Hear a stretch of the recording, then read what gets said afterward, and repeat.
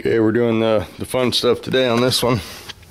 Scraping all this uh, stuff off. Notice this car got hit before in the back. All this has been replaced. All these uh, motor pieces there, or uh, engine tin, whatever there, engine compartment.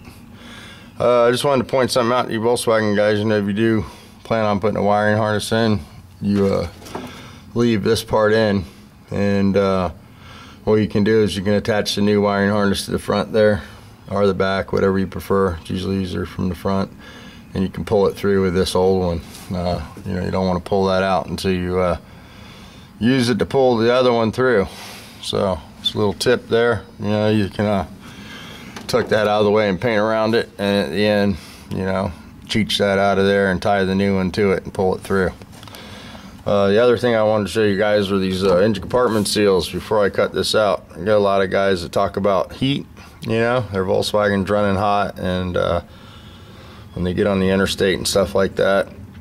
Uh, this car had air condition and uh, it doesn't run hot. You know, it has a 1776 of dual carbs and AC. Uh, it's really important to seal up the engine compartment. This is the front seal that seals to the pan. Some people call that the rear flywheel, the flywheel side of the motor. This seal uh, seals against your pan there, and uh, it makes this uh, engine compartment tight. And what happens with the doghouse cooler is it blows the hot air out, you know, the back of the fan housing through a little chute through here. Uh, when you don't have these seals in place, especially this seal, and you get holes. This one needs to be replaced anyway. We're getting ready to cut it out, but the pan sits against the seal and creates a, a seal. It keeps the exhaust from coming back up into the engine compartment. And uh, I'll show you on this car, the pan. We're not using the AC uh, holes. You can see this car has a new seal. I put new seals in all my stuff and you can see how tight it is. Uh, it's airtight, you know, and that's how it needs to be. Uh, the tighter you can make this back here, the cooler your car will run for sure. Uh, this can drop the, the cylinder head temperature by as much as 100 degrees uh, because when you have this exposed or have these holes open here, uh, this air, hot air comes in here and gets sucked into the fan, which uh, blows hot air over the oil. So you're heating your uh, oil up, which makes it lose the ability to pull heat off the engine and uh, you're also you know cooling the cylinder tins or the heads with hot air from the exhaust. So you want to keep that uh, definitely sealed as possible.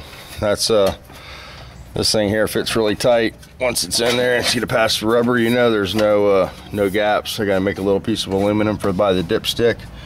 And that little hole right there will cause it to run you know hotter. Uh, that little hole won't cause it to overheat of course but you want to make sure that those it seals up as possible. So you're pulling you know fresh air into the fan not hot air from under the car. Uh, this car this car does have the gauges in it you know and these are this is probably the most important gauge to have on a Volkswagen I think. And that's the cylinder head temperature you know you can pretty much monitor what's going on with that aluminum melts at 600 degrees you know. Uh, Volkswagens on the interstate. I've heard as high as 350 you know. That's a little hot on the cylinder head.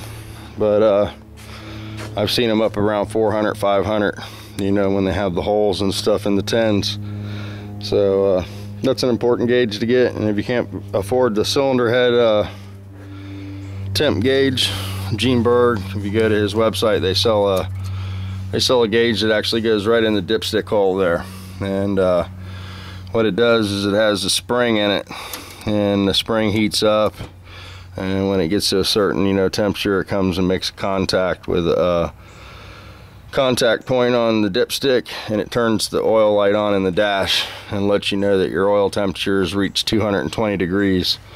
And uh, it gives you the opportunity to either you know pull over and have a coke or slow down and let the uh, oil cool off whatever you have but uh, I think they're about $23 or not much money and it's a real good investment you know it's called the temperature dipstick look into that if you got a Volkswagen then again it wires into the oil light and you don't have to disconnect the oil light. It just comes with a T.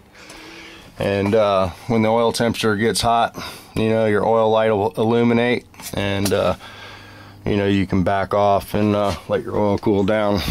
So I like to have either one or the other, you know, the cylinder head temperature, the oil temperature. Uh, both are nice. I like to put an oil temperature gauge in that car maybe, you know, because it's cool to watch the cylinder head temperature and the oil temperature. All right, so I'm gonna get back to scraping on this and uh, try to get this all cleaned up. So, so yep, that's where we're at on this bad boy. And uh, gotta clean the garage, but I'm gonna let Hans come out here and do that as soon as he wakes up. So, the sun's not quite high enough for him yet. But uh, yeah. All right, guys. A uh, little tip on the Volkswagen stuff. You can use it, not use it, whatever. But uh, heat's the killer. You know, it's air cooled. Hot air is no good. Cold air is good.